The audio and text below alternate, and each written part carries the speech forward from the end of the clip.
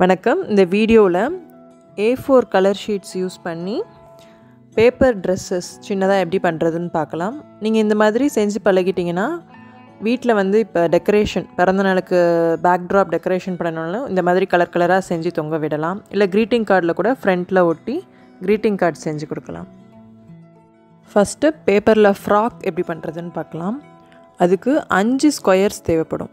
இப்போ நான் ஒரு ஏ ஃபோர் ஷீட்டில் ஒரு பெரிய ஸ்கொயர் கட் பண்ணிவிட்டு அதை சின்னதாக நாலு ஸ்கொயர் கட் பண்ணி எடுக்க போகிறேன் இது வந்து ஃப்ராக்கோட கீழே பண்ணுறதுக்கு இந்த நாலு பீசஸும் தேவைப்படும். அதுக்கப்புறம் டாப்பில் மேலே பண்ணுறதுக்கு இன்னொரு ஸ்கொயர் அதே சைஸில் தேவைப்படும். மொத்தம் அஞ்சு ஸ்கொயர்ஸ் தேவைப்படும்.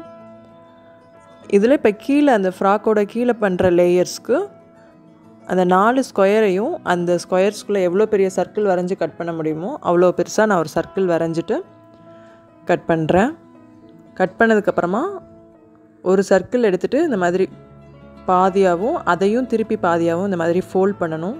ஃபோல்ட் பண்ணிவிட்டு ரெண்டு பக்கமும் வெளியில் இருக்கிற அவுட்டர் லேயரில் மட்டும் நமக்கு ரெண்டு எண்டில் இருந்தும் கொஞ்சமாக இந்த மாதிரி மடக்கி விடுங்க. விட்டுட்டு ஃபுல்லாக ஓப்பன் பண்ணிட்டிங்கன்னா இந்த மாதிரி இருக்கும். அதுக்கப்புறம் நம்ம லைன்ஸ் ஏற்கனவே ஃபோல்ட் பண்ண லைன்ஸ்லாம் தெரியும். அதை ஃபாலோ பண்ணி இந்த மாதிரி ஃபோல்ட் பண்ணிக்கோங்க. கீழே பார்க்க ட்ரையாங்கிள் மாதிரி இருக்கும். மேலே அந்த ரெண்டு ரெண்டு இது தூக்கிட்டு இருக்கிற மாதிரி இருக்கணும். இந்த மாதிரி நாலு சர்க்கிளையும் ஃபோல்ட் பண்ணி எடுத்துக்கோங்க. அதுக்கப்புறம் ஃப்ராக்கோட டாப் பண்ணுறதுக்கு ஒரு ஸ்கொயர் ஷீட் எடுத்து இந்த மாதிரி நடுவில் வந்து ப்ளஸ்ஸும் தெரியணும் க்ராஸும் தெரியணும். அந்த மாதிரி எல்லா பக்கமும் ஒரு தடவை ஃபோல்ட் பண்ணி எடுத்து வச்சுக்கோங்க. இப்போது இந்த ஸ்கொயரை ஒரு சின்னதாக ரெக்டாங்கிளாக ஃபோல்ட் பண்ணணும். ரெக்டாங்கிளுக்கு அப்புறம் அதை ட்ரையாங்கிளாக மடக்கிக்கோங்க. மடக்கிட்டு மாற்றி திருப்பிடுங்க. திருப்பி வச்சுட்டு இந்த மாதிரி மடக்குங்க.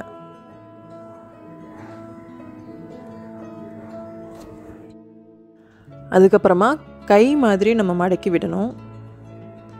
மேலே நின்றுட்டுருக்க எக்ஸ்ட்ரா பார்ட்டை திருப்பி கீழ் பக்கமாக திருப்பி மடக்கி விடுங்க.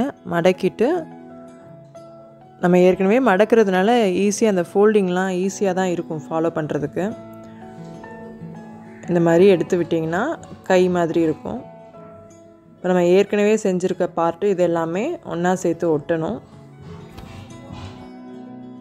ஃபெவிக்கால் யூஸ் பண்ணி ஃப்ராக்கோட பாட்டமை வந்து இந்த மாதிரி அடுத்தடுத்து நாலு பீசஸும் கீழே ஒட்டிக்கோங்க.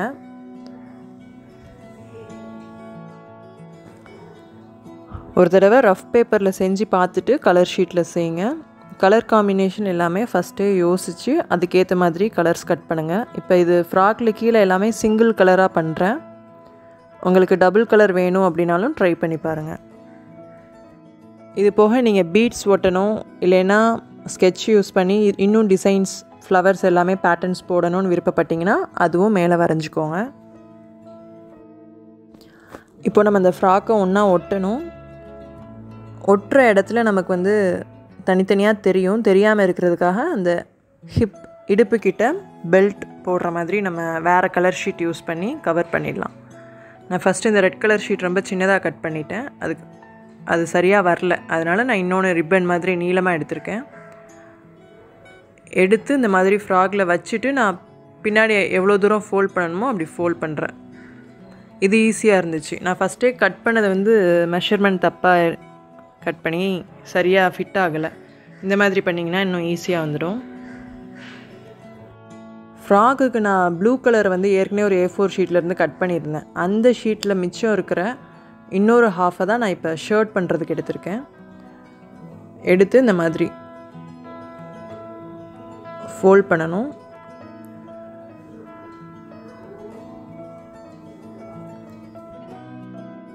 அதுக்கப்புறமா மேல் பக்கத்துலேருந்து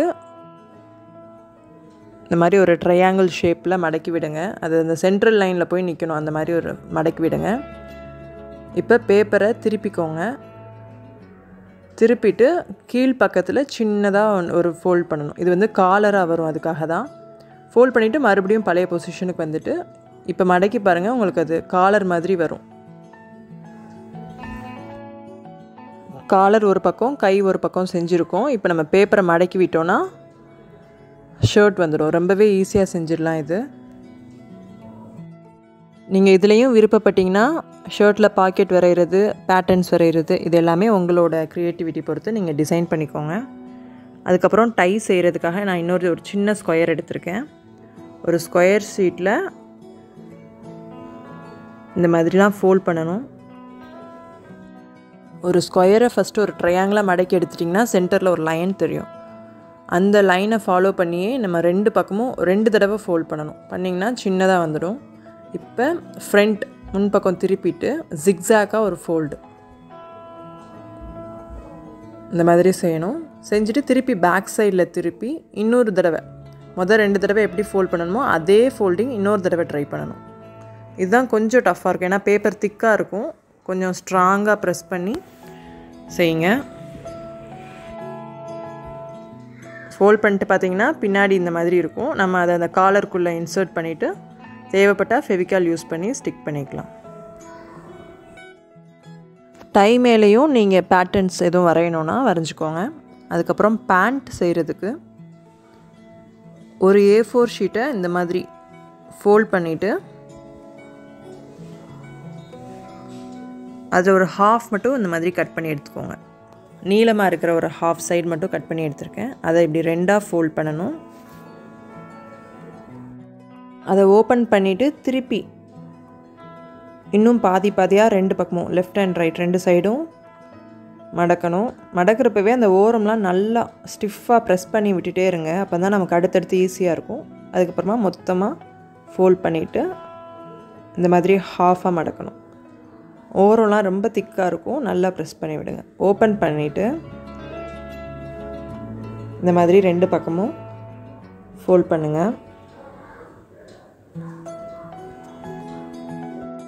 அதுக்கப்புறம் ஒரு சைடை இந்த மாதிரி எடுத்துட்டு உள்ளே விரல் விட்டு இந்த மாதிரி பண்ணிங்கன்னா ஈஸியாக மடங்கிட்டு வரும். ஏற்கனவே அங்கே லைன்ஸ் இருக்கும். மாதிரி மாற்றி மடக்கி விடணும். ஓப்பன் பண்ணி அதை உள் பக்கமாக ப்ரெஸ் பண்ணிவிட்டு திருப்பி அதே லைனை ஃபாலோ பண்ணி ஆப்போசிட் சைடில் ஃபோல்ட் பண்ணி விடணும்.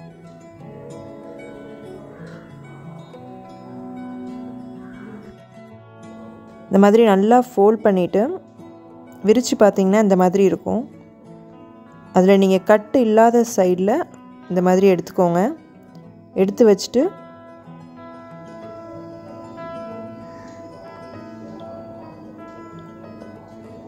ஆப்போசிட்டாக மடக்கணும். மேலேயும் ரெண்டு பக்கமும் மடக்கி விடுங்க. மடக்கி விட்டுட்டு திருப்பி பழைய பொசிஷனுக்கு நீங்கள் ஓப்பன் பண்ணிங்கன்னா பேண்ட் ரெடி ஆகிடும். இப்போ கம்ப்ளீட்டாக எல்லா ட்ரெஸ்ஸுமே ரெடி ஆகிடுச்சு. இது எல்லாமே நீங்கள் மொத்தமாக ஒட்டி க்ரீட்டிங் கார்ட் பண்ணலாம் இல்லை டெக்கரேஷனுக்கு யூஸ் பண்ணலாம். வீடியோ ஸ்டார்டிங்கில் பார்த்த மற்ற ட்ரெஸ் எல்லாமே குட்டி பசங்க செஞ்சது தான் அவங்களுக்கு பிடிச்ச மாதிரி அதில் டிசைன்ஸ் எல்லாமே பண்ணியிருப்பாங்க நீங்களும் செஞ்சு பாருங்கள் தேங்க்யூ